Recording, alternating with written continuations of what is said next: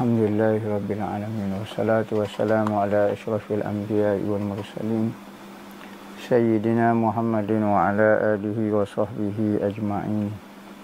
قال رب اشرح لي صدري ويسر لي أمري وهل عقدة من لساني يفقه قولي.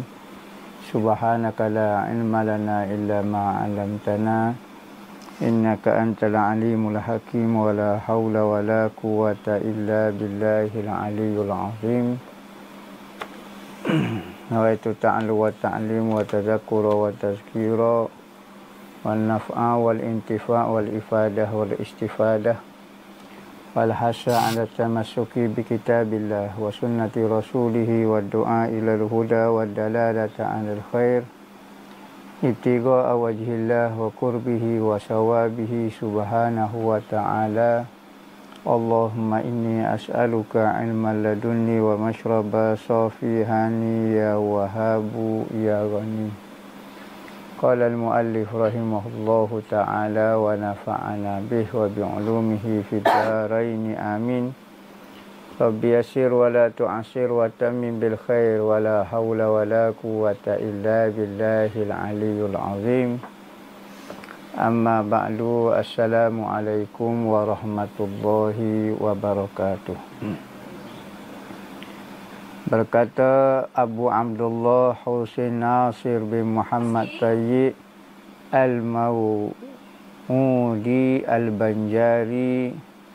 Dalam kitab dia Hidayatul Sibyan sehinggalah perkataan dia syahdan bermula fardu mandi itu dua perkara. Hmm? Oh, keduanya. Hmm, keduanya yakni kedua daripada rukun mandi wajib. Mandi wajib ni ada dua. Pertama, hak wajib kita kena buatnya ada dua. Pertama, kita kena niat. Siapa dia mandi wajib tidak niat, maka tidak sah mandi wajib dia. Sekalipun dia mandi rata dah, dia mandi pakai sabun ke apa, hukum dia tidak sah. Kerana innamal a'malu bin niat, sesuatu amalan itu mestilah dengan niat dalam mazhab syafi'i kata yakni sahnya amalan itu dengan niat.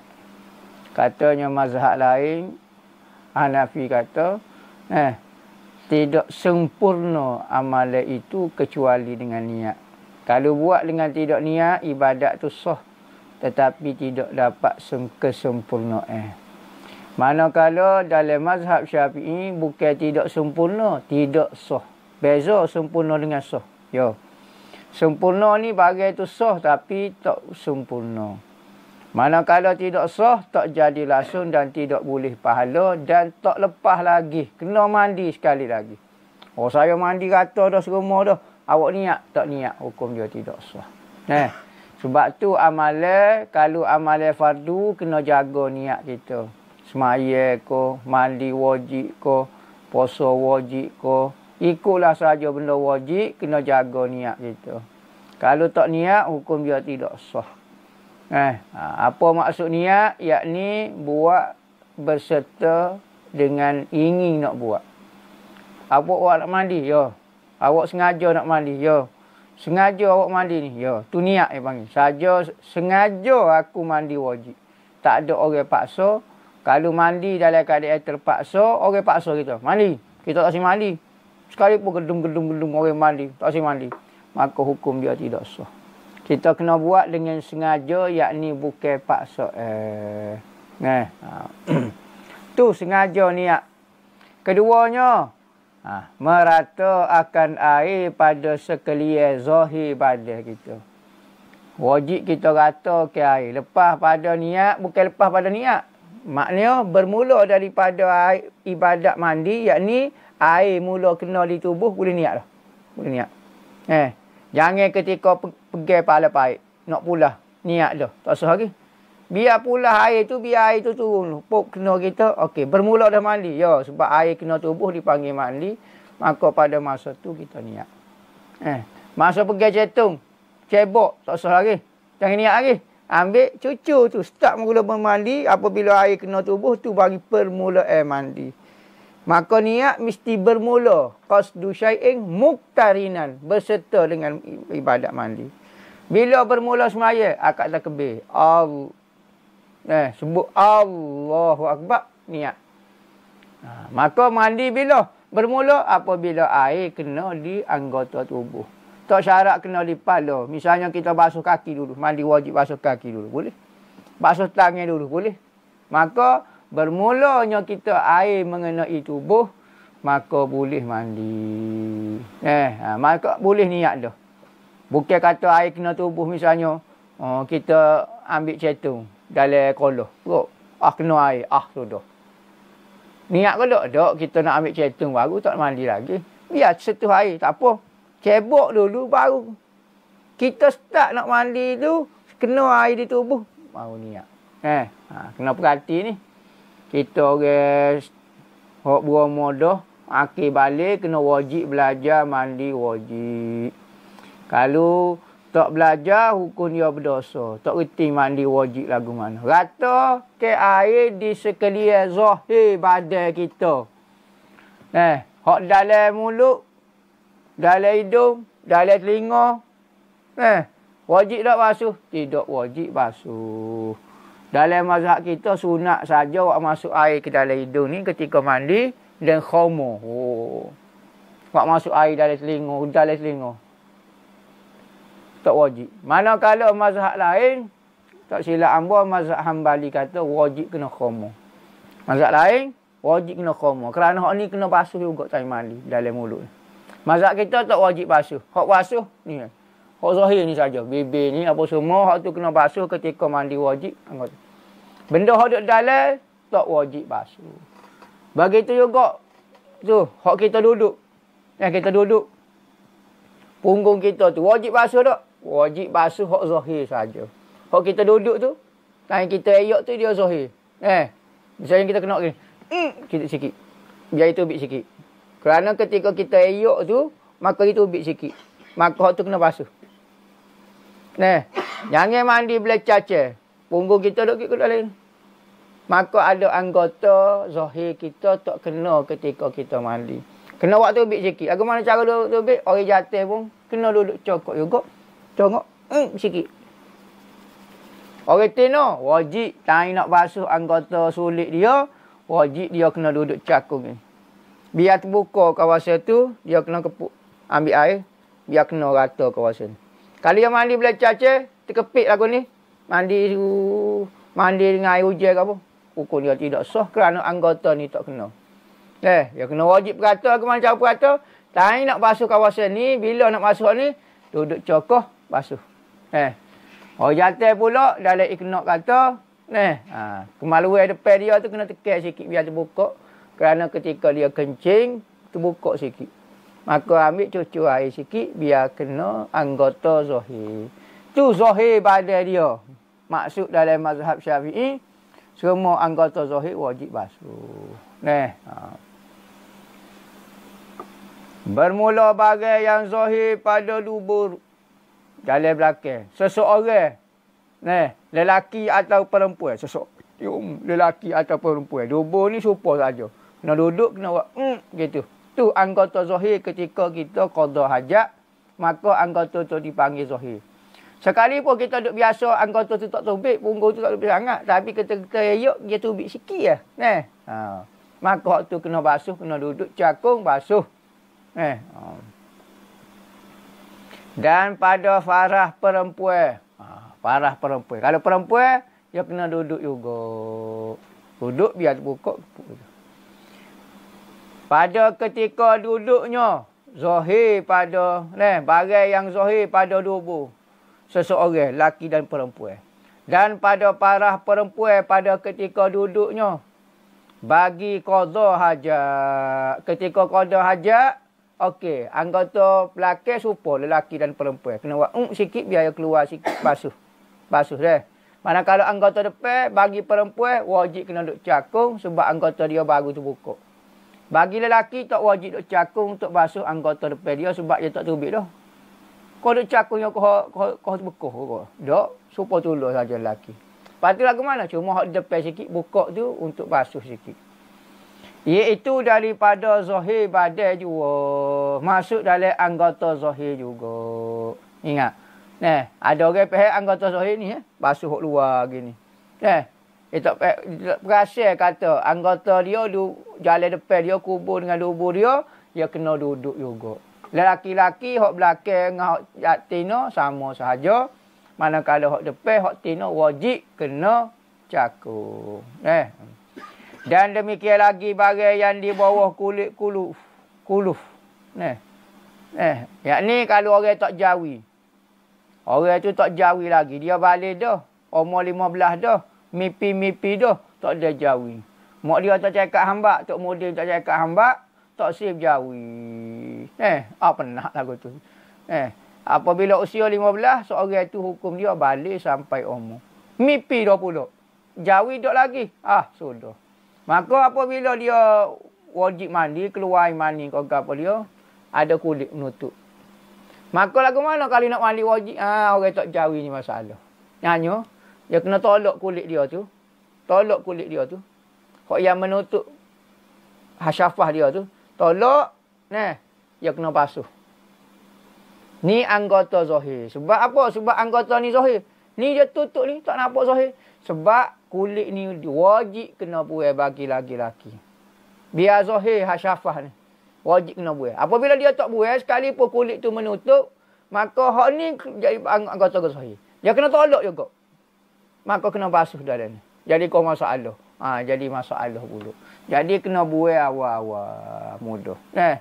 Jadi jawi ni bila wajib ketika balik. Bapa wajib jawi ketika balik? Kerana dia mula wajib sembahyang. Kerana orang yang tidak jawi ni hukum dia menanggung najis. Apabila dia kecing, air kecing dia akan masuk ke bawah kulit ni.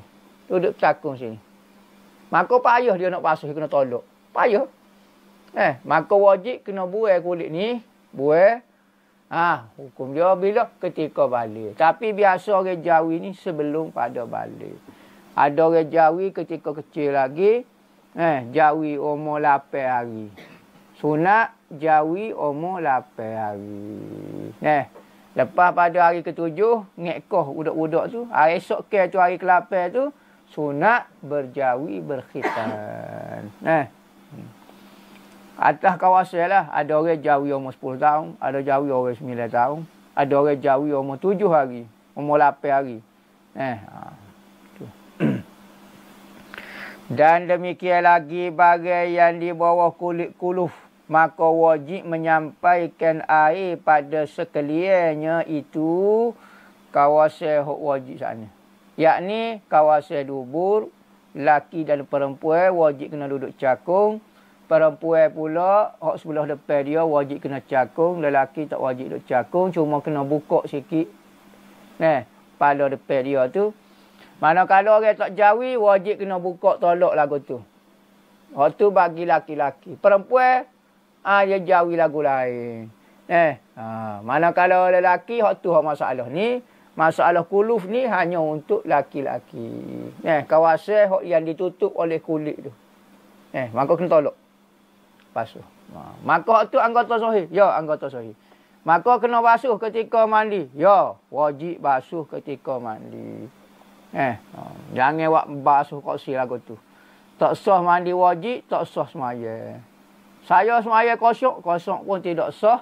Maka hukum dia berdosa wajib diulang sembahyang tu seolah-olah kita tidak sembahyang. Eh, ibadat yang tidak sah sekalipun kita buat dalam keadaan kosong, maka ibadat tu tidak jadi, tidak dikira di sisi Tuhan, maka wajib diulang semula, kena buat semula. Eh, ha, tu sebab tu kita sebelum balik kena ngaji benda-benda asasi lagu ni. Kerana kalau apabila sudah balik baru nak belajar, menyebabkan banyak ibadat kita tidak sah, maka kena qadha tu banyak. Nyanyolah. Eh, penatlah kita nak qadha gani lagi, puasa lagi, tidak sah. Maya lagi tak sah. Goni tak sah. Zakat dulu pun tak sah. Bayar tak betul, tak betul, tak goni. Eh, haji dulu pun tak sah. Ah, banyak selok lah kita je. Eh, kalau berat lagi, akidah pula tidak sah. Syahadah kita pula tidak sah. Jadi sebelum balik kena mengaji dulu. Sekalipun tidak wajib lagi. Bila wajib ketika usia balik baru, baru ada hukum wajib. Sekalipun lagu tu maka kena belajar sebelum balik. Apabila kita masuk kepada usia balik, maka kita dah lepas dah fardu ain, semaya kita betul, akidah kita betul.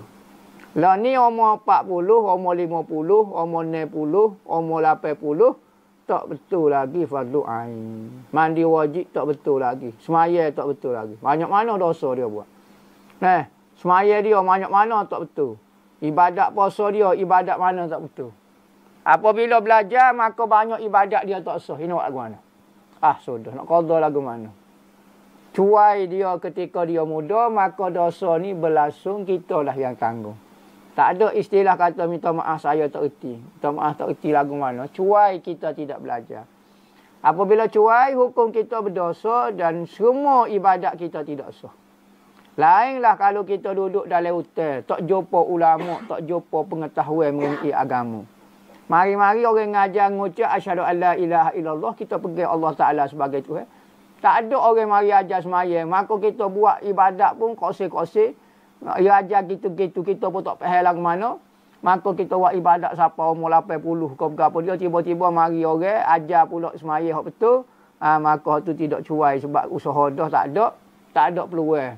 Mana kalau di Malaysia sekarang tak ada istilah excuse. Saya tak ada masa nak belajar saya lupa dengan Tuhan, saya cuai dengan Tuhan. Sekadar tu yang minta maaf dengan Tuhan. Lepas tu tak kodoh, masih kodoh. Nak banyak telajuk. Malah eh. Eh, tapi nak minta maaf dengan Tuhan, ah berat. Kita buta dengan seseorang. Buta pitih dengan dia dekat 4 juta lah. Lepas tu dengan dia minta maaf, saya tahu. Tak boleh nak bayar. Minta maaf gitu ya? Lepas tu tak boleh bayar kau. Oh, tak boleh bayar. Ay, pelik sungguh.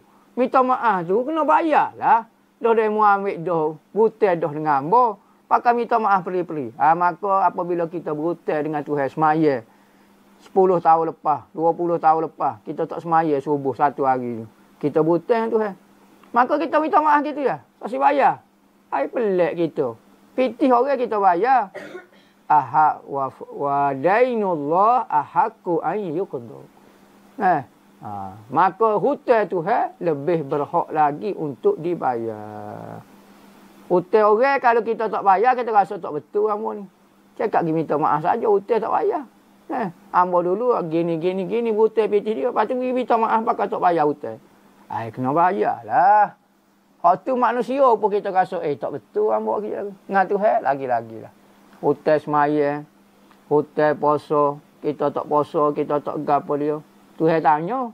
Tuhan duk tunggu bila kita nak bayar ni. 15 tahun lepas, ada satu kali itu subuh mu tak semaya. Aku duk tunggu lagi ni 15 tahun tu. Eh, bila mu nak bayar? Masa ada belana. Duk berderak kau tu, berderak kau ni, berderak kau tu boleh lagi. Eh, lima minit ya mu kodo. Bayarlah semaya subuh. Dua rekaat ya bayar, sudahlah. Tak si bayar, walau kerak, walau gitu. Amaku hukum dia berdosa.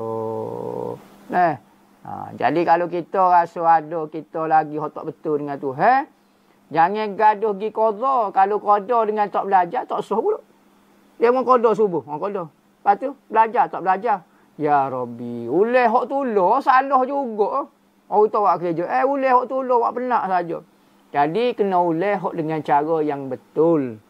Kalau hak dengan cara salah, tak ada pekda. Eh, um. Bermula segala syarat wuduk pula.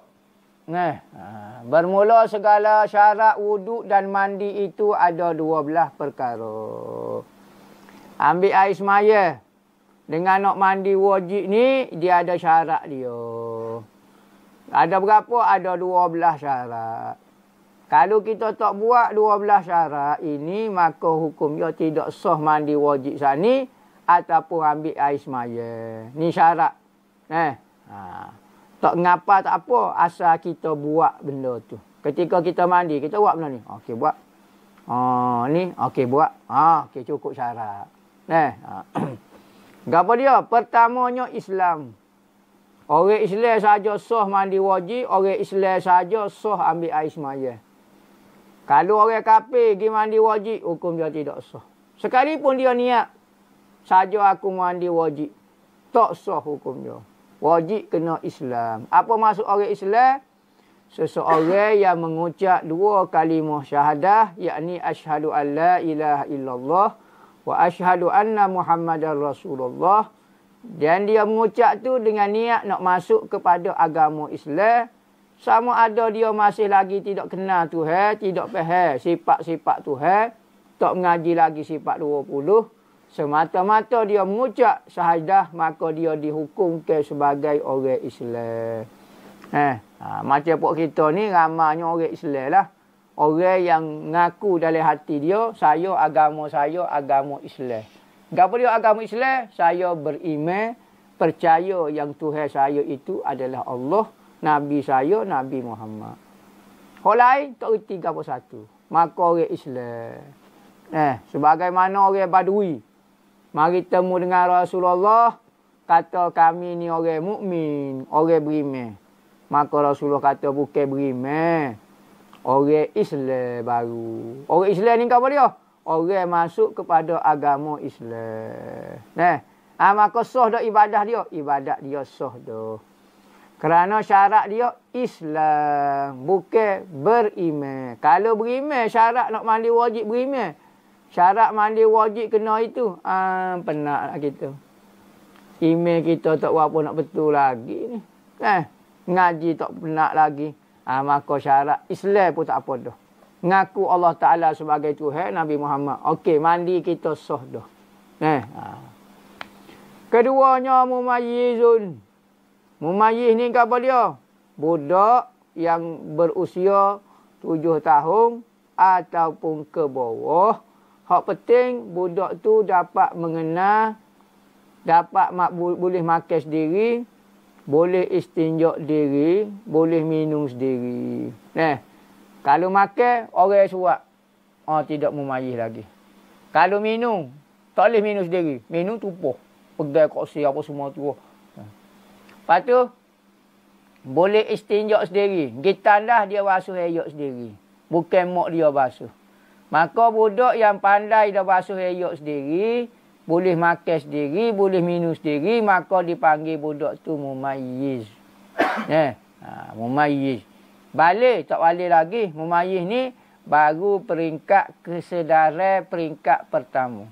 Jadi budak yang mumayyiz tu, budak yang boleh basuh eyok sendiri, boleh makan sendiri, boleh minum sendiri. Budak ni kalau dia buat mana-mana ibadat, okey sah dah. Sekalipun tidak wajib lagi kerana dia masih belum balik. Tetapi ibadat tu sudah sah. Sah dah. Eh, apa penting sah dulu ibadat. Eh, ha. Tu mumayih. Ketiganya mengetahui akan kaifiat keduanya yakni wuduk dan mandi wajib. Wajib kita tahu, wajib kena belajar lagu mana nak mandi wajib. Eh, kalau pakai mandi cuci, dia mau belajar tak mandi tahu. Pakai lagu mana betul tak? Tak tahu. Pasu kata tak? Tahu kata kali. Tak tahu ke apa dia, tak belajar.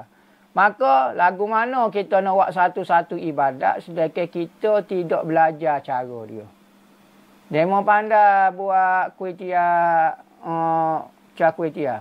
Mau pandai? Eh, awak berok berok. Dia mau belajar tak belajar. Pas lagu mana bubuh kicap tak tahu. Lepas tu bubuh kuih tia tahu. Eh tidak nama cah kuih tia. Eh tak tahu. Lepas tu nak buat lagu mana? Nak buat cah kuih tia kalau tak belajar tak jadi cah kuih tia. Jadi mutabak, jadi sekut tawa, jadi gapo. Hak tu buat cah kuih tia tukar jadi matabak dah. Pas mandi wajib kalau tak belajar lagu mana jadi mandi wajib. Pok kita kata, eh asal mandi ya. Eh, apa dia ajar lagu tu? Kena belajar ibadat nak semaya. Pakai akad takbir. Orang semaya, kita semaya. Belajar, tak belajar. Jadi, kalau tak semaya dengan tak belajar, tahu. Oh, baca petih, kita baca petih. Tak tahu apa dia. Ha, penat lagu ni. Eh. Ha. Maka benda-benda dunia pun kalau tak belajar, tak jadi. Maka benda akhirat juga kalau tak belajar, tak berjadi. Jadi kena belajar awal-awal tu. Eh, tak balik kau apa dia, belajar dulu awal. Apabila masuk alai balik, saya dah ibadat kita betul, mandi wajib kita betul, ambil ismaya kita betul. Eh.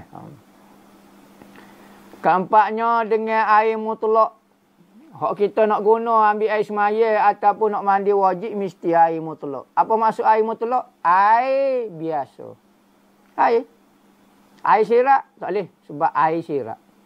Air sirak wak mandi wajib. Menekat habis. Bahaya air sirak.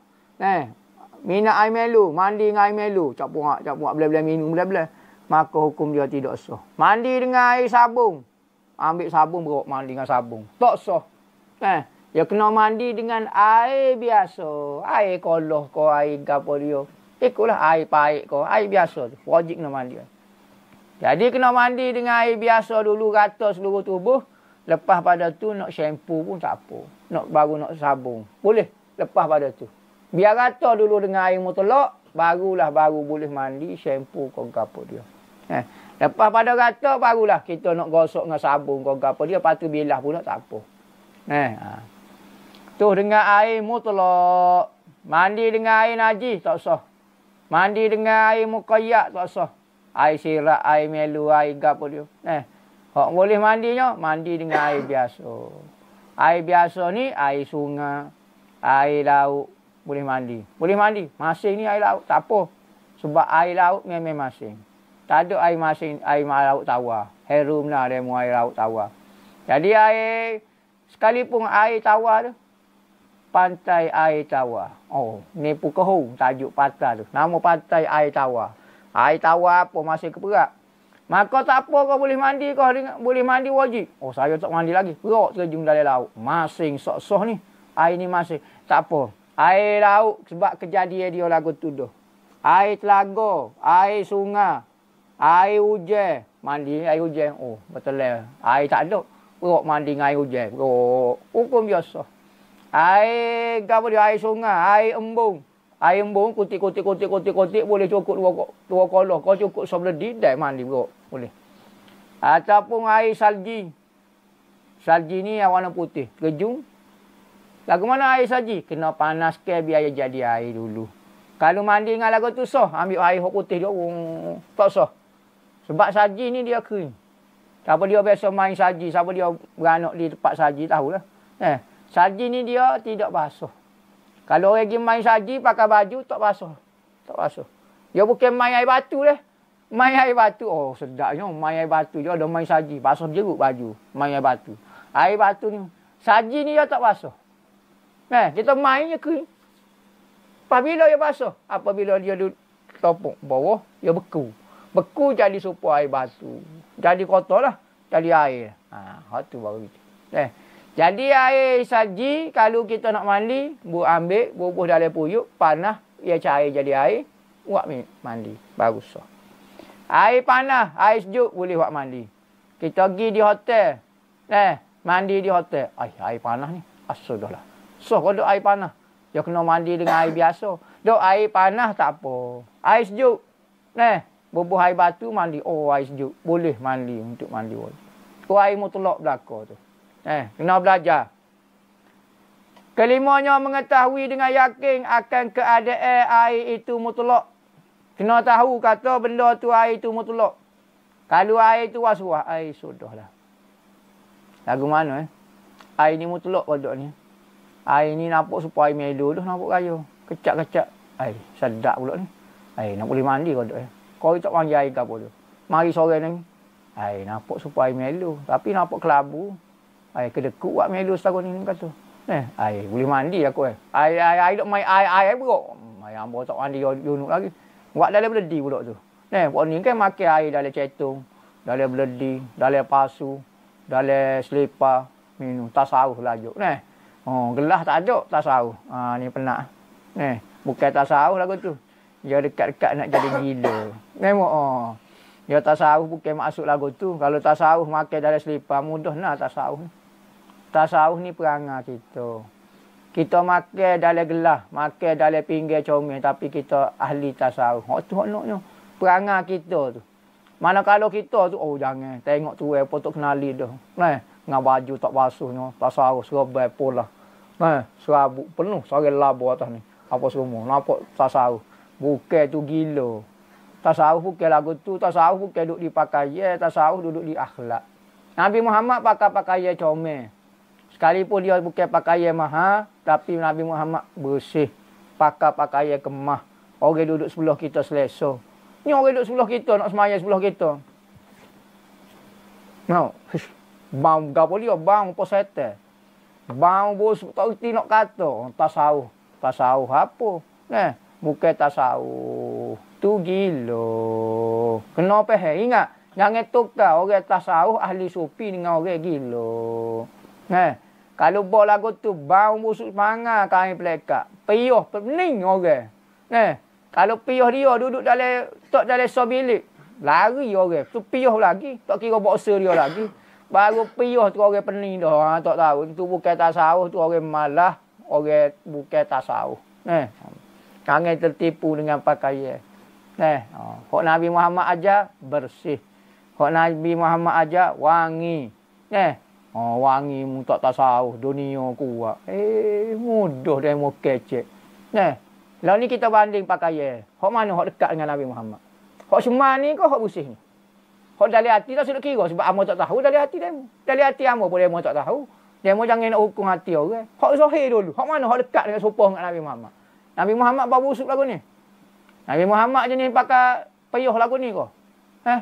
Oh. Jadi kita lah ni ramanya tipu oleh orang tak reti tasawuf, wak lolok-lolok tasawuf. Dipanggil mutasawwifah. Oh, orang tasawuf ni dipanggil ahli sufi, orang sufi, orang bersih hati dengan Tuhan. Mana kalau orang yang tidak bersih hati tapi dia minat orang tasawuf. Tapi dia tak reti, dia, dia, dia rekod diri, dia rekod pakai baju buruk. Eh, oh, nak suruh nampak tasawuf. Dia minat orang tasawuf tapi hati dia tak bersih supaya ahli sufi. Tapi ahli tasawuf. Tapi dia nak tiru, dia panggil mutasawifah.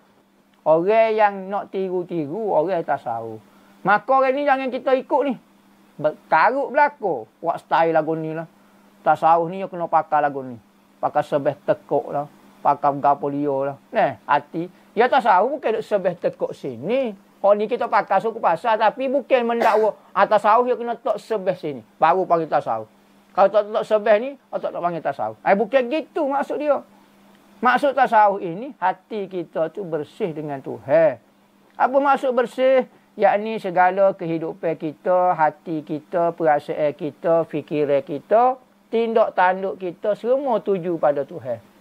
Saya buat ni kerana Allah. Apabila buat kerana Allah, mestilah perbuatan itu kena betul dengan Tuhan. Kalau kita buat kerana Allah tapi tak betul dengan keinginan Tuhan. Okey, saya semaya lagu ni. Betul ke tak? Tuhan ayat lagu lain suruh semaya. Saya semaya lagu ni. Tapi saya ikhlas ni. Ikhlas pun tak betul cara saya. Tuhan kata kalau mu ikhlas, mu kena dengar kata. Ikut yang aku buat. Mandi wajib. Mandi kose-kose. Tapi saya ikhlas. Ikhlas ke apa dia. Buat yang betul. Yang tu ikhlasnya. Buat dengan betul yang sah. Ikutlah menurut mazhab mana pun. Yang penting kita buat ibadat tu biasa. Eh, ha. Ketiadaan, keenanya ketiadaan sesuatu yang meneguh akan sampai air kepada anggota keduanya. Orang mandi wajib ataupun orang ambil air semaya. Eh, jadi jangan ada benda yang menghalang daripada sampai air ke tubuh. Ada saltik sini tepek. Kita tengah mandi. Ai, oh, siapa dia tepek saltik? Wajib kena buka. Kerana air tak sapa kawasan ni. Ya wajib kena rata kawasan ni. Maka kita kena cabut buai. Getah-getah dia apa semua kena. Setiap benda yang menempel di tubuh. Ikutlah gapo dia. Benda gapo dia ikutlah. Minyak ke gapo dia. Minyak hok kering. Minyak kita baik kereta tu bergerak-gerak. Eh, sebab apa? Minyak tu menempel. Kita ambil pisau kita taruh. Tubik minyak tu. Warna hitam.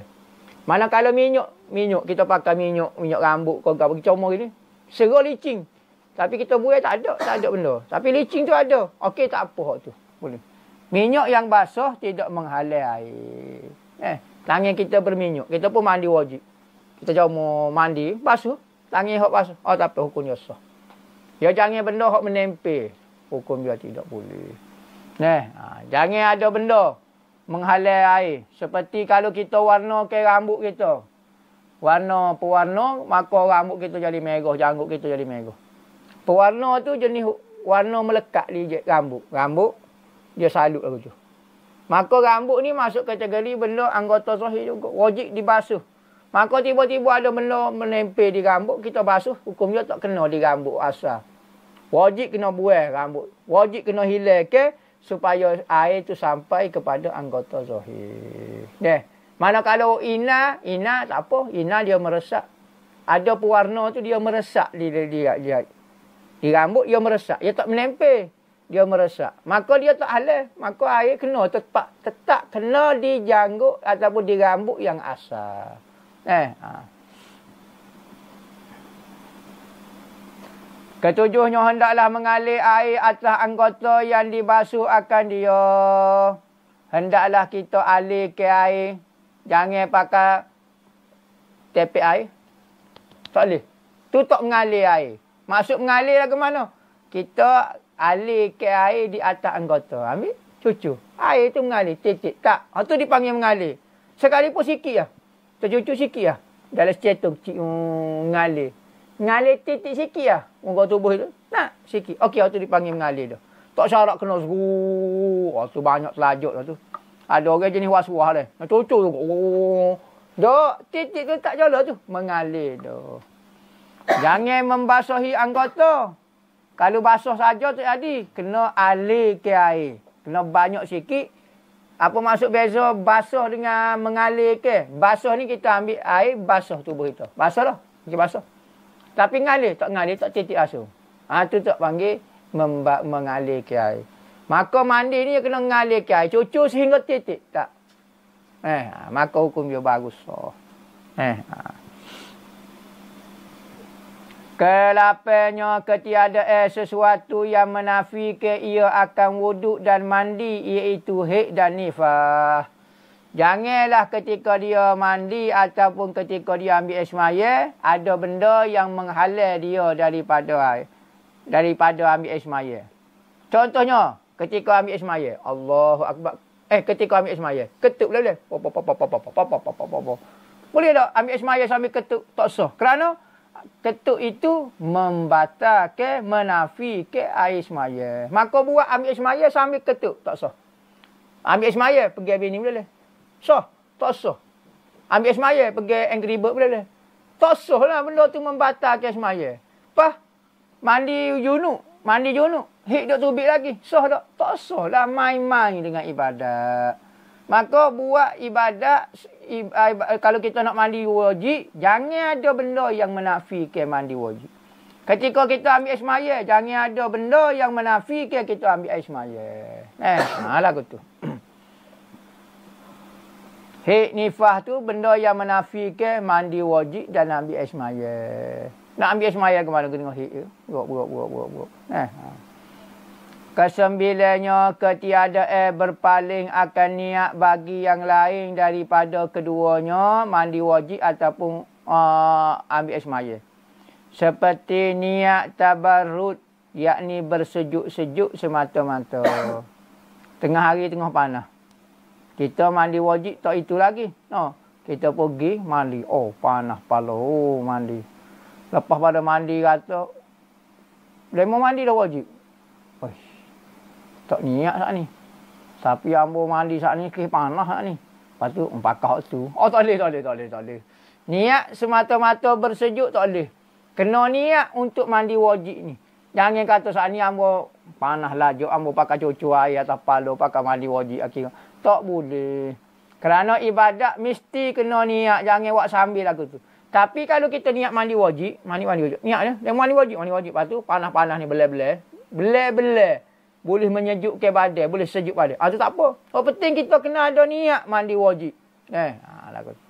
Tapi kalau semata-mata nak tabarrud, eh nak bersejuk-sejuk, maka hukum dia tidak sah. Ke-10 bahawa melebih pada masalah wuduk saja akan basuh daripada qada yang wajib wallahu a'lam.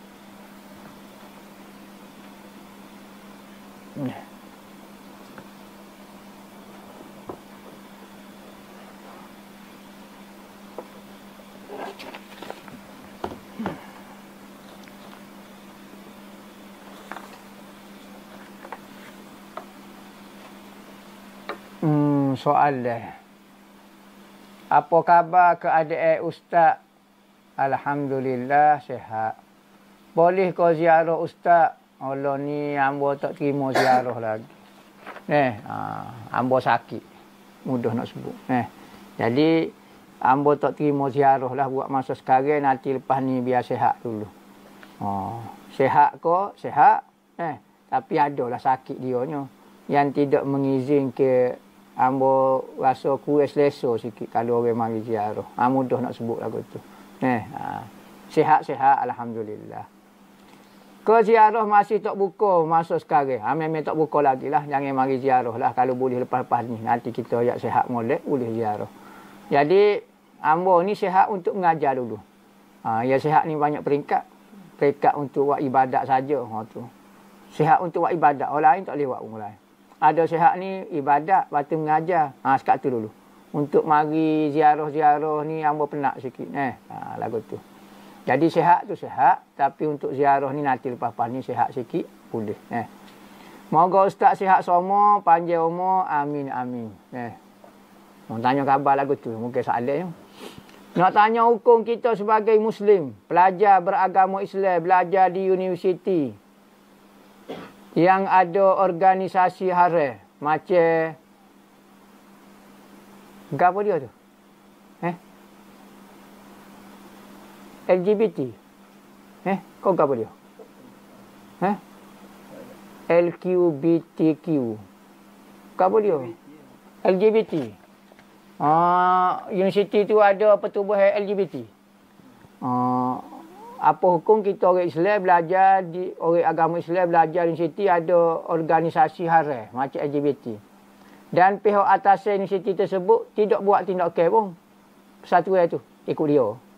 Adakah berdosa dan dapat dan dapat atau tak berkat menuntut ilmu di universiti tersebut? Mohon penjelasan Ustaz. Gini. Universiti itu bukan universiti LGBT dia. Dia mengajar LGBT. Maka universiti itu universiti lah. Masalah orang buat satu hari situ. Bukan anjuran. Bukan dasar universiti itu. Maka kalau kita belajar, belajarlah. Eh. Maka sekalipun satu tempat capur maksiat pun ada, ibadat pun ada. Maka dosa dia tidak ada kaitan dengan kita. Cuma dari sudut keberkatan. Tempat lagu tu boleh kau duduk. Eh. Ha. Pondok tapi ada orang maksiat. Saya mengaji pondok tak berkat. Apa-apa kaitan dengan orang buat maksiat. Lepas tu, duduk atas muka dunia ni, kena ada orang jahat, ada orang baik. Tak ada berkat dunia ni. Lepas bila masuk ada berkat kawasan baik sajanya, maka tidak semestinya apabila ada maksiat di situ, benda tu tidak jadi keberkatan. Hak penting kita tu, ketua persatuan LGBT kodok. Kita tu ahli dia kodok. Kalau kita tak masuk tak ada kaitan, maka belajarlah insya-Allah kalau kita belajar molek insya-Allah boleh pahala. Nah. Maksiat tu payah kita nak cari tempat hok tak ada maksiat lebih-lebih lagi kawasan masa sekarang. Gi di Mekah pun. Gi dekat Kaabah pun. Gi di Madinah. Gi di mana pun nyo adalah maksiat. Adakah semata-mata orang ada buat maksiat situ jadi kurang? Nah, ada juga atas diri kita. Zaman Nabi Muhammad sahabat ada situ. Abu Jahal ada situ. Bergelewak dengan Abu Jahal. Dengan orang kafir kureh. Orang yang tak berimeh dengan Nabi Muhammad. Sahabat ada gelewak lagu tu. Dengan Yahudi dengan apa. Lepas tu tak berkat lagu tu. Duduk bergaul lagu tu. Eh dok, kita tu gapo dia. Eh, kalau kita duduk kat Kaabah pun kita tidak mendengar Tuhan, tidak taat Tuhan, tak ada faedah juga.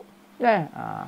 Jadi insya-Allah kalau kita niat molek, insya-Allah ilmu tu niat untuk manfaat bagi umat, insya-Allah jadi berkat ilmu tu.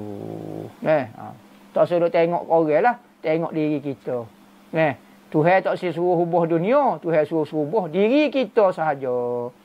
Kalau kita tak mampu mengubah dunia dan sekitar dia, tak dosa kita. Yang penting kita berjaya mengubah diri kita. Eh, kerana dunia ni payah nak ubah. Eh, ha. Salah tu aku. Bagaimana nak jaga fikiran kita tanya solat agar fikiran kita tak ke mana-mana. Gini. Otak kita ni dia akan koyak. Hmm. Kalau kita tidak fokus. Apa maksud fokus? Kita tumpu ke fikiran kita. Orang tua panggil perhati. Bahasa Kelantan panggil perhati gak tanya semaya. Apa maksud perhati? Perhati baca air kita. Dan mata kita perhati kepada tempat sujud. Tengok. Perhati ni tengok. Tengok pada tempat sujud. Kadang-kadang tengok, mata tengok pas sujud, otak ni. Pas rumah, pas kelik, pas main, pas derak. Eh, pas goni, pas maksiat ni. Hmm. Mata lagi ni. Pas lagu mana nak suruh tarik lagi otak kita? Mata kita tumpu dah. Sekurang-kurangnya anggota kita boleh tekak dah. Fikiran kita pula lagu mana? Kita dengar apa yang kita baca.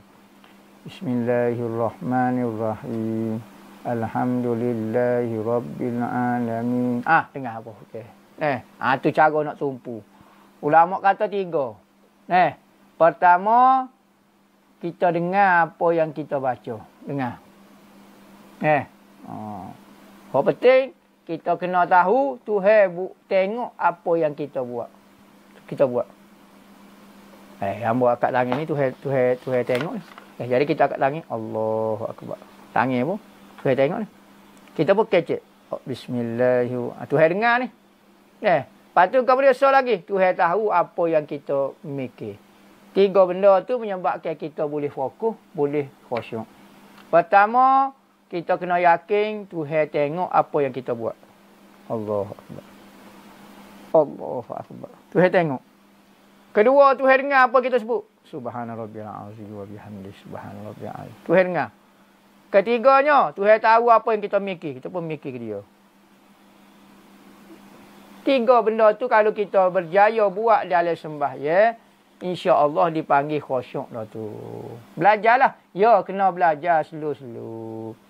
Hidup ni jangan kuat khayal. Kalau kuat berkhayal eh, maka orang khayal ni biasa orang tak ada kerja. Duduk saja lepuk atas kalbuk ataupun hotel. Eh, duduk main, duduk pegating, pegang kayu, duduk katok kelegang-kelegang. Eh, jumpa tu siapa sepak ajarlah tu orang tak ada kerja orang kalau ada kerja hidup dia akan fokus fokus kena buat kerja eh kena fokus ah tu manusia ni dia kena ada kerja kalau aja duk saja lama maka otak jadi tak boleh duk saja duk saja jadi tak fokus otak ni ngoya tu kuat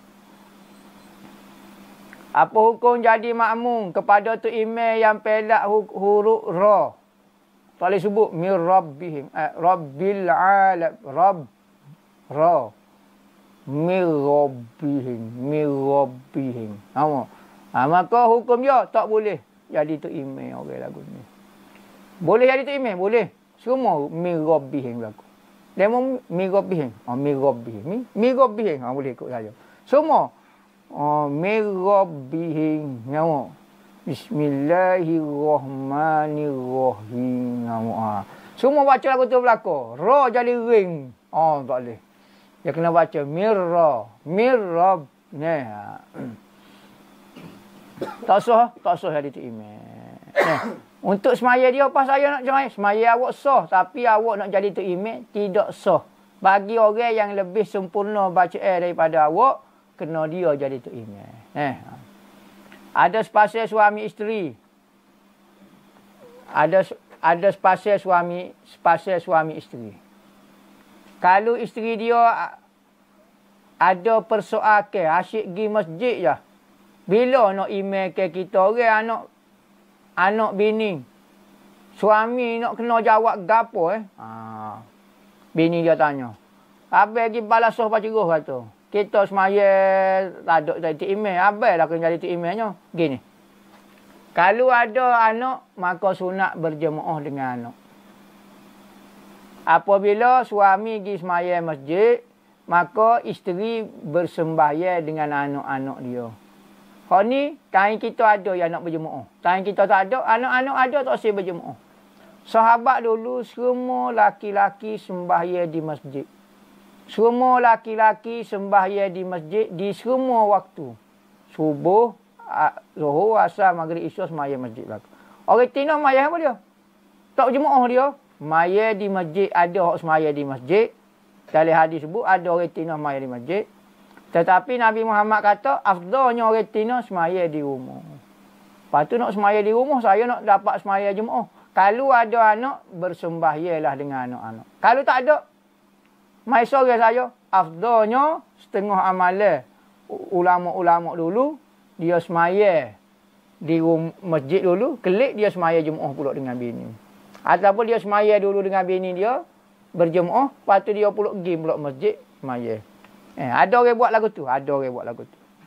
Dan dalam kitab-kitab antaranya kitab pedoman semaya berjemaah Tok Guru Haji Abdul Rahman Lubuk Tapah. Dia kata kalau lah isteri itu tak dapat semaya Jumaat. Kalau kita pergi semaya Jumaat, afdal kita semaya dengan isteri kita. Nah, jadi biar ada. Biar ada masa kita sembahyang berjemaah dengan isteri. Nah, ha, lagu tu. Tapi tak boleh lah acak-acaknya. Lagu tu. Ha. Saya ada jumpa dalam kitab Senjata Sulit. Senjata Sulit. Ha, ha. Kitab senjata sulit. Nama kitab. Bukan senjata sulit. Hok, hok peheh tu. Tu senjata keris tami sari. Hok tu tak sebut kira lah. Eh, hok tu tak sebut kira. Jadi kitab nama dia deh. Nama kitab tu tulis senjata sulit. Eh, ha. Maknanya resio lah. Sulit ni resio. Bukan alat sulit. Ya beza. Senjata sulit dengan alat sulit. Ha, lain tu. Eh, ha. Ha, dia kata dalam kitab tersebut kucing ni kucing pula. Ada yang bertuah, ada yang celaka. Eh, kucing bertuah, kucing celaka. Ya kita takutnya manusia lah. Celaka masuk dengan aku. Kucing celaka tak masuk dengan aku. Eh. Adakah jadi kurafat kita, kita bela kucing itu mungkin bertuah, kita cakap sejak bela kucing ni murah rezeki. Jadi kurafat ke tak? Tidak. Eh. Oh, kerana manusia ni, kejadian makhluk Tuhan ni ada yang istimewa dia. Eh, ambo ni sekat saing ada demo ni jadi bertuah hidup ambo. Ah syirik demo lagu tu. Ada. Ada orang ni manusia ni kerana mungkin perwatak dia. Mungkin cara dia menyebabkan kita saing dengan dia, kita jadi bersemangat. Kita jadi rajin, kita jadi gapo. Maka orang ni orang orang Melayu kita panggil orang ni bertuah. Weh budak ni bertuahnya lah keluarga dia dapat. Oh anak bertuah sungguh. Kurafat demo lagu ni. Dok anak tu lah yang menyebabkan keluarga dia jadi kuat agama. Anak dia baru nak dengan ada anak tu dia nak kenal pondok. Nah, ni yak dulu lagi semaya bedok apa tak reti apa fadu ain pun tak reti. Ah ha, penak lagu tu. Nah, jadi mempercayai tuah dan celaka ni maka tidak jadi kurafat. Ambo sekat saing ada demo ni jadi malas maya. Demo ni bahasa jenis celaka. Bukan kata kucing yang demo pun celaka juga ni. Eh, jenis tak bertuah. Ini bahasa sia. Orang tua panggil maja. Nyelitah bewok orang panggil. Muka demo pun supaya bewok tu kata. Hmm, tak jadi apa kata. Ha, jadi lagu tu. Maka jadi kurafak, tidak kurafak. Eh, ha. Memang standard lagu tu dah. Ada manusia tu mendatangkan tuah. Ada manusia tu makhluk lah. Kucing kau apa dia. Eh, ha. Maka benda tu ada aura kebaikan, ada aura negatif. Aura jahat saya panggil. Ataupun celaka lah kita panggil. Istilah-istilah tak apa hukumnya tak jadi kurafat. Nah, ha, ada orang ni bertuah tu duduk di PhD saja. Oh, anak demo doktor. Profesor. Oh, bertuahnya. Anak demo ngaji pondok. Oh, sufi, ahli sunnah. Celaka. Celaka demo. Sia anak demo. Eh, puako. Adik-beradik atu raya. Oh benar. Eh, ha. Jadi benda-benda lagu tu jangan. Maka celaka kau apa dia benda tu nampak kebaikan untuk dunia dan akhirat kita. Eh, tidak salah. Kerana ada benda tu mendatangkan tuah, mendatangkan kebaikan, tidak ada masalah. Eh. Hmm. Ustaz seorang ibu kena cakap baik-baik pada anak sebab cakap pe ibu jadi doa. Oh.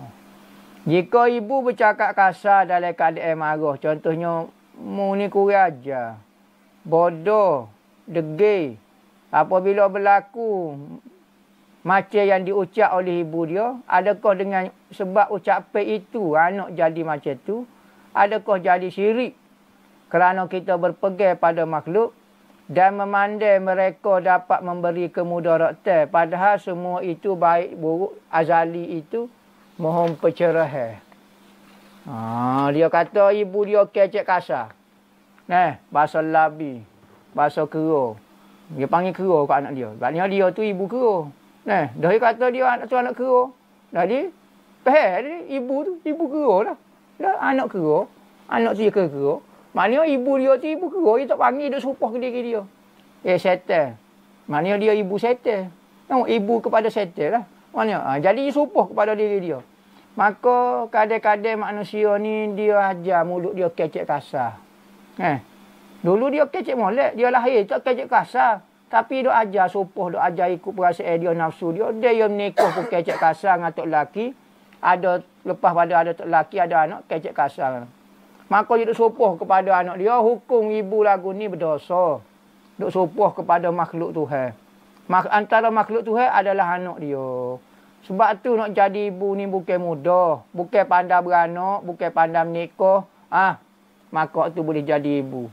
Kena banyak belajar lagu mana nak jadi ibu solehah. Eh, kena belajar perangai, kena belajar mulut. Ni dia kecek uduh. Apabila anak dia kecek uduh, mari jumpa pergi duk pondok. Ustaz ajar sikit anak saya, Ustaz. Kecek kuih ajar, ya Allah, ya Rabbi. Kecek menyopoh. Kita dengar menyapung lah. Lawai orang tua. Saya tak ajar lagu ni. Tak ajar, kita pun tanya. Eh, sain dia, jirai dia. Lagu mana? Oh, dia kan. Yang supoh kotak laki dia senyap. Kau kero jadi kotak laki dia. Yang katok pula. Miak pun miak. Yang katok. Nah. Oh, pasti dia kata dia tak ajar anak dia. Dia tak ajar. Dia tak ajar suruh katok-katok lah ayah saya. Kotak laki saya. Dia, dia. Tapi dia tunjuk depan anak-anak dia. Anak dia jadi lagu tu lah. Lah ni ramah, rumah tak pernah ajar adat. Tiba-tiba mari pondok nak suruh ajar adat. Kecek subhanallah. Tak ada adat langsung. Budak muka dia tengah belajar. Dia tak tahu baik buruk lagi. Kita orang tua, hok lama dah pengalaman hidup. Duduk tunjuk benda-benda lagu tu. Tiba-tiba apabila anak terbiasa membesar dalam keadaan lagu tu, kita suruh beki lagu mana. Kita dulu kena beki. Sebab tu kita tengok kalau ibu bapa kecik lemah lembut. Ha, ustaz, ustaz sihat kau dok. Semua anak yang kecik gitu belakang. Ha, ustaz sihat kau dok. Kecik gitu, nurung gitu belakang. Dia panggil tebek aku pun. Kecik slow, slow kecik. Kalau jalan slow, anak semua jalan slow belakang. Tapi kalau ibu jenis buah, ibu biasa nurung. Ibu paling besar sekali pengaruh. Ayah ni muka duduk jaga-jaga. Tak boleh duduk dekat dengan ayah. Silap duduk ni, lapar kelia, masuk dekat dinding lah. Biasa orang duduk dengan ibu. Maka perangai ibu paling memberi kesan. Sebab tu kalau kita tengok mulut anak lagu tu, tengok ibu dia mulut lagu mana. Eh, ayah dia tadi tu, ibu nombor satu.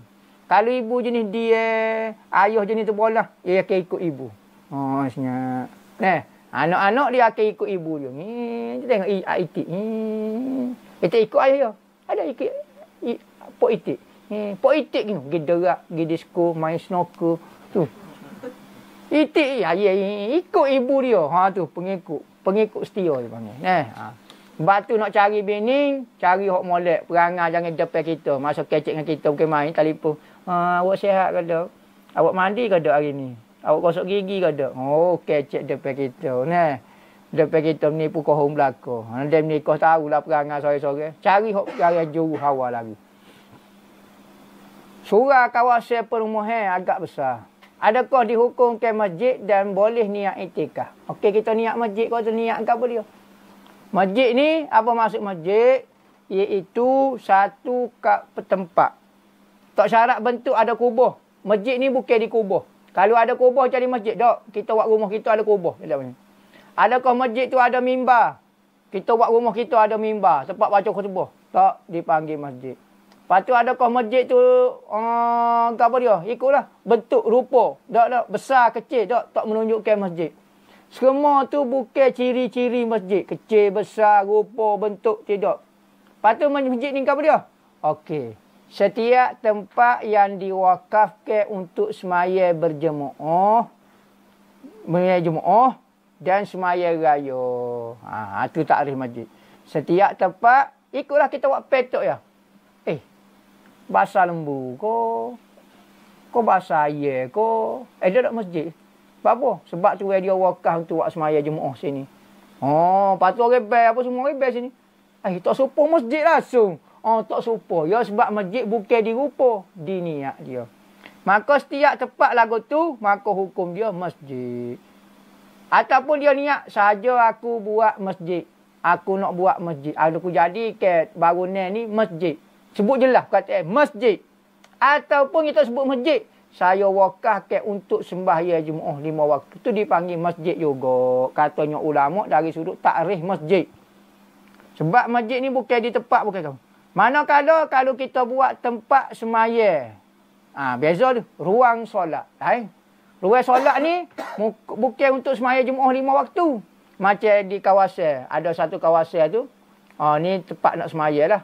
Bukan kita wakah ke apa dia pun. Dan syarat masjid mesti diwakahkan. Pertama, masjid tu kena wakah. Kedua, diwakahkan untuk sembahyang lima waktu dan sembahyang raya. Eh, ha. Manakala tepat, oh, ni kawasan ni, ni pondok, pelajar sembahyang kawasan tu lah. Jadi masjid tak? Tak, tak. Jadi kalau masjid pelajar kelip belakang, pelajar kelip belakang, tak ada orang sembahyang. Tak dosa. Sebab apa? Sebab dia tak pelajar kawasan untuk pelajar sembahyang ya. Tak sembahyang pun tak apa. Tapi apabila kita wakah untuk semaya lima waktu, mesti orang kena pergi duduk ke tempat tu. Tak boleh kata misalnya surah ada dalam pondok. Habis pakai klip belakang, tak ada orang semaya Jumaat. Ah ha, nyanyi surah tu. Kita wakah untuk semaya Jumaat ke apa dia apa semua. Tiba-tiba tak ada orang. Ha, berdosa dah kerana tidak menghidupkan surah. Menghidupkan surah ni wajib. Fardu kifayah. Dua orang pun tak apa. Maka semaya Jumaat di masjid tu, hukum dia fardu kifayah kerana nak di samping semaya tu hukum fardu kifayah menghidupkan masjid juga fardu kifayah eh ha. menghidupkan bilik ruang solat tak tak tak wajib menghidupkan bilik nah ataupun apa dia ikutlah stesen bah tu RNR adalah tempat ruang solat atau apa tahu bilik stadium kau apa dia ha dewa tak wajib hidup Maka dia kata besar, adakah dihukumkan masjid boleh niat itikah? Oh, tengoklah. Surah tu apa dia? Eh, ulama duk khilaf. Surah tu dikira masjid atau tidak masjid. Dalam kitab pekoh, orang Arab lah, orang ambil mengaji lah. Orang Arab dia pahal dua saja. Masjid bukan masjid. Masjid orang kita pahal tu lah. Oh, sana ni, ambil kita arif Sama ada dia kata saya wakah masjid. Jelas tu tak ada petika. Kedua, saya wakah untuk semaya lima waktu dan semaya uh, apa dah maya maya raya uh, maka tu jadi masjid juga dia bukan tengok di bentuk ruang tempat kecil besar maka surah kita ni apa dia benar wakah ke tak okey surah ni wakah tapi surah tamil ni wakah tak uh, tidak saya tak wakah kawasan ni cuma kawasan perumahan ni saya buat masjid so buat surah so tempat semaya kita panggil tempat semaya maka kita buatlah bentuk berkubur-kubur sikit luas semua. Maknanya kalau nak sodok bila-bila tak apa nak sodok. Saya tak wakaf pun. Cuma biar kawasan orang tu biar ada surah. Eh, biar ada surah ni bukan kata wakaf pun. Ah, tu kalau dia tak wakaf tak jadi masjid. Syarat masjid mesti diwakafkan. Jadi kalau kawasan tu ya wak surah tu kawasan perumahan dia tu besar. Maka apabila besar tu bagi masjid dah, dah. Sekali pun besar tak dikira. Atas ke? Maka surah kau apa dia boleh sodok. Ruang solat anak NA. Betul di sini. Minggu depan tengok, eh, pindah di sini. Hmm, bau tak comel di sini, pindah sini. Eh, tak boleh ni. Eh, tak apa, boleh pindah. Nak tak mana pun boleh. Tak dosa, tak apa. Masjid tak boleh. Mula-mula masjid sini. Esok, eh, ilah surah tu. Eh, pasal masjid ni. Gimana? Yang pindah kat tu pula. Jing yang pindah. Ah, tak boleh. Kena duduk situ pas sampai bila-bila. Kalau tak ada kebenaran, tak ada darurat, tak boleh nak pindah surah masjid ni. Mana kalau hotak wakah ke atas nama surah tamir. Panggil istilah surah tamir sebenarnya tempat semaya ya. Kalau dia tak wakah ke apa dia, hmm, nak sodok tukar nak banglo tuai tuai tanah terpulih kepada dia. Eh, ha, maka surah ni ada setengah kata masuk dalam kategori masjid sebab dia saya wakah lah kawasan ni untuk dijadikan itu sebab tu kena tanya perumahan tu. Saya wakah ke ko kalau tak wakah. Kalau tak wakah tak jadi surah masjid. Kalau dia wakah ke jadi surah jadi masjid. Saya wakah ke ikutlah tempat ini untuk semaya jemaah, ah ha, mereka jadi masjid. Eh, boleh niat itikaf. Pas saya tak tahu, saya tak tahu maka hukum dia tak boleh itikaf. Di masuk tu, tak boleh niat itikaf. Sebab tadi kita tahu. Eh, nampak you apa macam masjid buat mihrab apa apa dia. Sekali pun you lagu tu. Tu bukan tanda masjid. Eh, ha. Apa itu solat i'adah ya ustaz? Apa rukun dan syaratnya? Solat i'adah ni kita ulas semula semaya kita di dalam waktu dipanggil i'adah. Kalau dah habis dah waktu, baru nak ulas semula dipanggil qadha. Macam semaya maghrib. Alah, iso dah ni. Kalau kita ulas semaya maghrib kita, ikutlah batal kau gapo ada najis kau gapo kita pun ulas semula. maka dipanggil qada.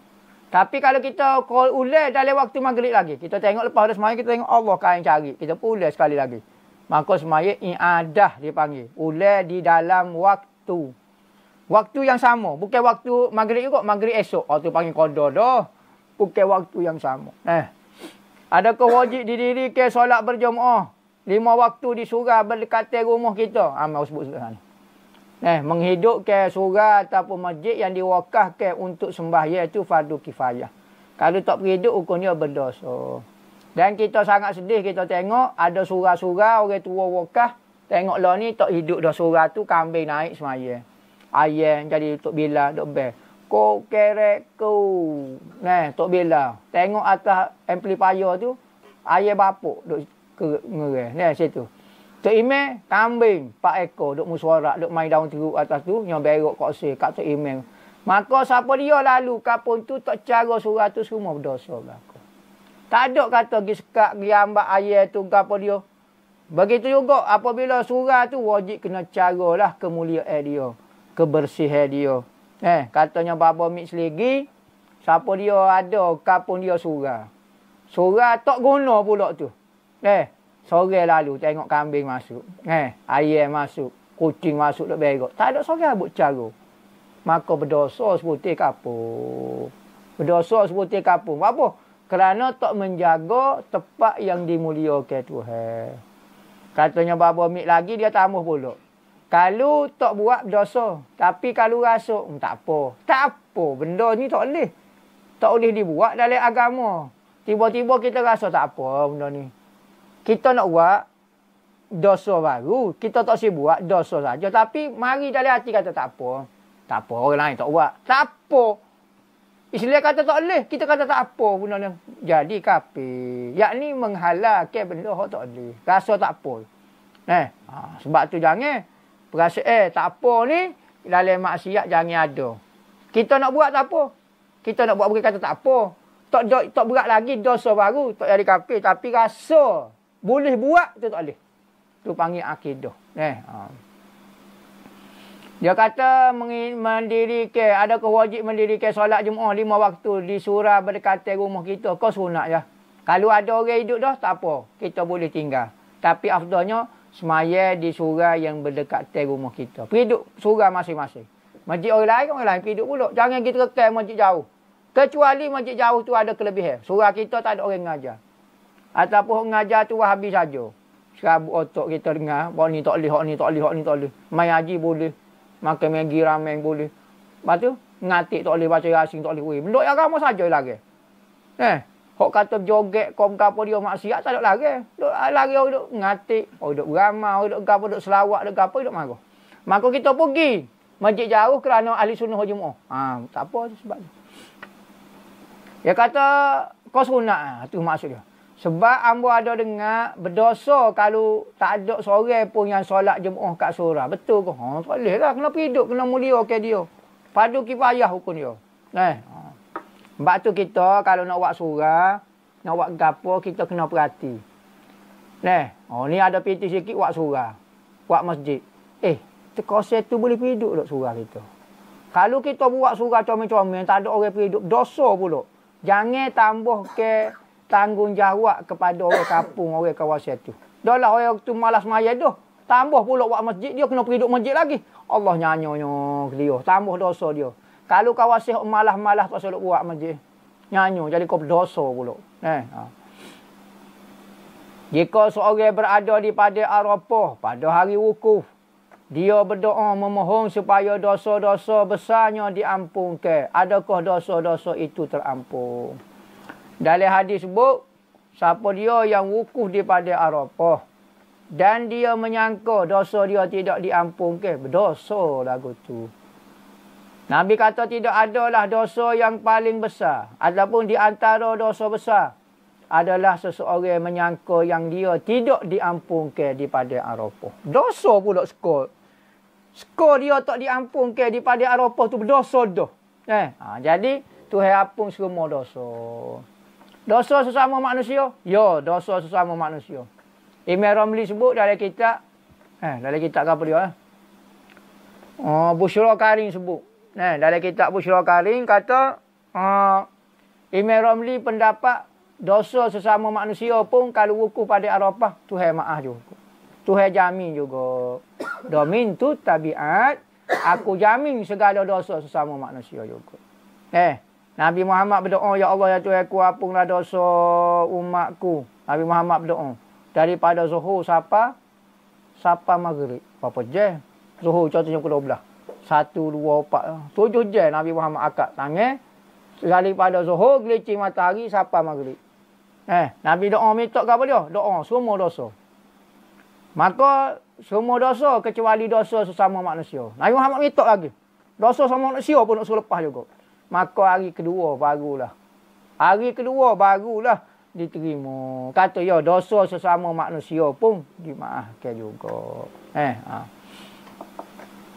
Hmm. Ada riwayat Imam Imam Ramli kata kalau dosa sesama manusia tu dimaafkan maksud dia lagu ni. Kalau orang tu tak sempat nak minta maaf. Misalnya dia hak buat silap tu dengan orang di Malaysia. Dia duduk di Mekah. Maka dia minta maaf dosa dia hak buat, salah dengan orang Malaysia. Dia patut dia kena klik minta maaf lah. Tak sempat dia minta maaf tengah perjalanan dia mati. Maka dosa dia hak sesama manusia tu jamin juga. Gitu. Tapi kalau dia ada kesempatan untuk minta maaf, dia kena minta maaf juga. Klik Malaysia kita minta maaf. Ada kata lagu tu. Eh, ha. Dalam sujud terakhir kita digalakkan banyak ke berdoa. Boleh ke ustaz bagi amalan doa apakah yang mustajab untuk dibaca di waktu sujud terakhir. Terima kasih ustaz. Masalah doa ni hamba tak boleh nak ajar. Kerana doa ni adalah permintaan. Saya tak boleh nak ajar lagu mana nak hidup. Nah, sebab tuan puan, poci poci moci moci ada cara hidup. Ada matlamat, ada keinginan. Maka doa ni permintaan kita. Jangan ikut ambo, ambo ada nak minta cara ambo. Nah. Jadi orang permintaan ni atas diri masing-masing. Ada orang nak minta lagu ni ada. Jadi tak boleh. Misalnya seorang tu gemuk, dia nak minta jadi guru. Lepas tu minta doa tu dengan dia orang guru tu. Oh, ambo nak minta jadi guru. Aslo. Kalau cakap tu ambo guru tu. Pas nak minta jadi tulis kau lagu mana? Ah tak boleh, tak sesuai doa tu lah. Jadi ada benda tu sesuai dengan kita, ada benda tak sesuai dengan kita. Minta lah apa dia kita nak dengan Tuhan. Hak tu insya-Allah mustajab. Jangan ikut orang doa lah. Permintaan kita tu menurut diri kita. Eh. Ha. Wallahu a'lam.